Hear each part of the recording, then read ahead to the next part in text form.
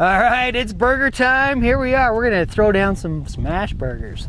You know what though? We're gonna do things a little different today. We're actually gonna develop a recipe right here. So we're just gonna start playing. I'm gonna put some stuff together that I think is gonna work and the reason why I'm putting those things together and we'll see how it turns out at the end.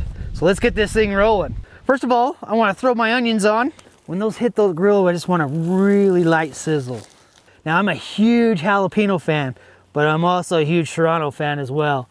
Serranos are a little more easier to work with just because the heat's more consistent. Jalapenos can be everywhere. Serranos are always just normally fairly hot. So uh, I like to use those that way I can have my consistency. So one thing that I have learned is make sure you don't overwork your meat.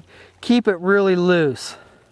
We're gonna keep that loose, let those juices work its way up through that burger patty. So these are gonna be, end up being about a quarter pound. The star of the show of these burgers are gonna be that crust. And that's what we're trying to do. We're trying to just get a really thin crust on both sides.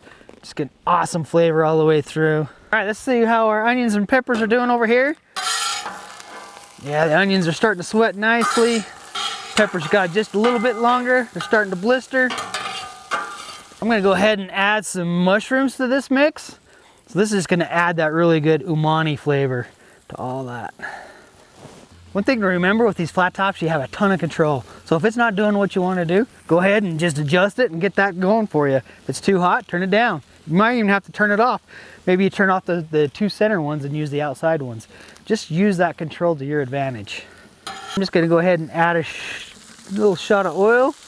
All right, those peppers are starting to blister. They're where I want them. We're gonna mix them in with the onions. Just let all those flavors start to meld. Start out with just a little bit of oil on there.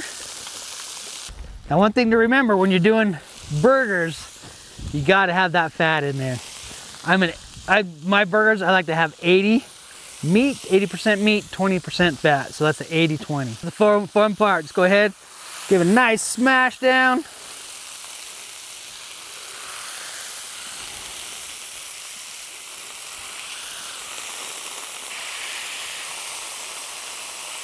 Trying to make the burger taste the best that I can and I know I can do that with just salt and pepper. Because I really don't want you know any other kind of seasonings competing with the rest of the rest of the burger. A bit. But we're gonna throw a little spiced rum on these onions and peppers and mushrooms. I just want a little splash. Oh man that flavor. Okay we're gonna move these peppers right over. All right so we got our onions and peppers and mushrooms on now we're just gonna put a layer of cheese over the top of that.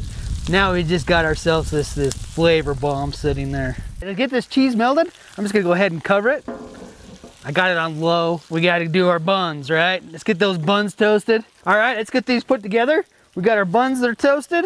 You gotta put some thought into when you're layering these and how to layer them. Iceberg works really well for burgers because it's crispy and you want to put that on your bottom bun. It's to be a lot easier to eat. Plus you can tell your mama that you ate some vegetables if you have the lettuce on your burger. Next we're to put our burger on.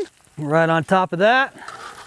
We're to double these bad boys up. Okay, on top of that, I want something that's fresh. I want something that's not cooked. I want a little bite of freshness. So I'm to put some tomatoes on there.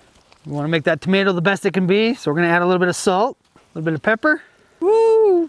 Tomato down. All right, here in Utah, we like our fry sauce. I personally don't like it all that much, so I make my own. This is my barbecue sauce that I make with a little bit of mayo in there. We'll just mix that together. Use this as our sauce. Moment of truth, here we go. See how we did. I think it's gonna require a second bite. Smash burgers on a griddle, can't beat it.